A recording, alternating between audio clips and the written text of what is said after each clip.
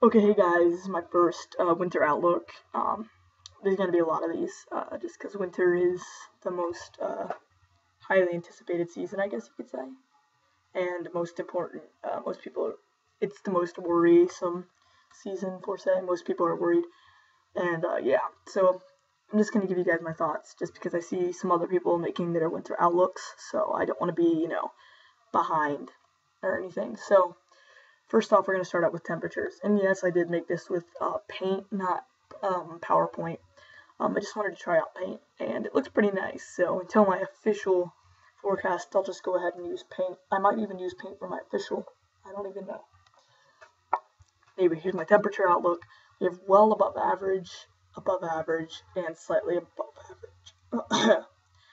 uh, average temperatures, slightly below average temperatures, basically for the east. Uh, a lot like last year, except the cold was centered basically up here last year mostly. But now the south is actually going to get their chance to shine with some below average temperatures. And if I had to draw um, something uh, where the ridge is going to be, ridge is up here, and let's go ahead and make that trough, deep trough.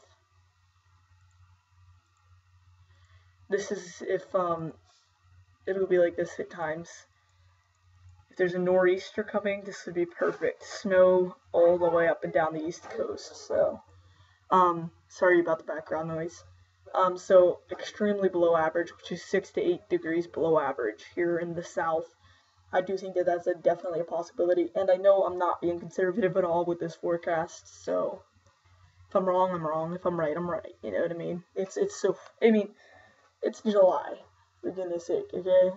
So, if I'm wrong, there's probably about a 50% chance I'm wrong right now. Um, but I have an idea, which is well below average temperatures in this zone, below average temperatures in this zone, um, above average temperatures in this zone, and well above average temperatures in this zone. Check out my precipitation forecast. As you can see, we've got the light green shade, which would mean um, that would be about, hmm, let's see, that'd be slightly above average precipitation, and then the green would be above average precipitation.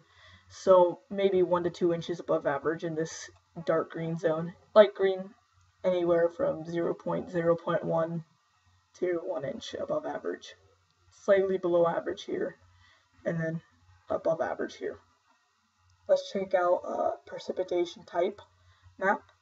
We'll have our winter battle zone here, anywhere from um, basically um, anywhere from uh, extreme southern Maryland, uh, going around the Appalachians, and you can basically pinpoint your area.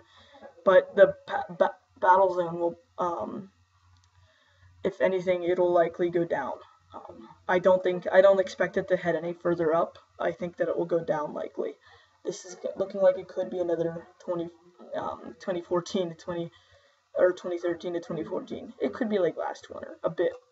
Uh, the big question is, will the storms pull up the coast, the um, the nor'easters? And it's looking like they could. Let's check out my overall forecast.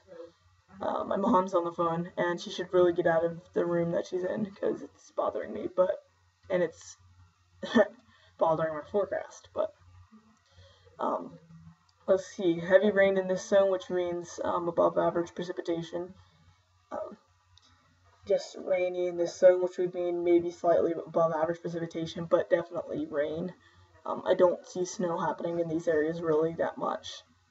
Uh, winter battle zone, snow, mix, sleet, freezing rain, or rain in this pink zone. Light snow in this zone, uh, this means that this dominates. Um, so light snow will dominate. Um, they'll get light accumulations. Snowy, that would mean that they have the potential for um, about average uh, snow amounts. Heavy snow means that they'll probably see some heavy snow accumulations as well as some good precipitation.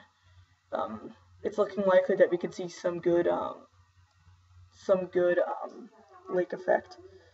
Then um, also heavy snow in these zones because of the nor'easters, and then nor'easters potential for blizzard slash extremely heavy snow. and with nor'easter years, and when we get um, where it looks like it's going to be a below average year, uh, especially in these zones, it's really important to get good snows. And also seeing the above average precipitation come up the coast too. That's a really good sign that we could see some um, very heavy snow accumulations in these zones um, compared to their average. I mean, at times we could see, um, especially in the northern portions, I think in the southern portions we've got a good shot for some 8 inch plus storms that happen uh, overnight, literally. So sometimes over an inch per hour. Um, and then north of here, we could see literally, um, you know, 20 inches plus. Um, Maine, all these areas. North of New Jersey is going to be the border of like the um, lighter accumulations and the heavier accumulations. Either way, pretty strong accumulations. Um, Norfolk, uh, Richmond, Annapolis, um, let's see here, New York, um, Philadelphia, um, Boston, all these areas at risk. So definitely watch out um, because we could be seeing some heavy snowstorms this year. Um, I'll update you guys in a week or two on uh, my winter thoughts. And yeah, thanks for watching, guys. See you later. Bye bye now.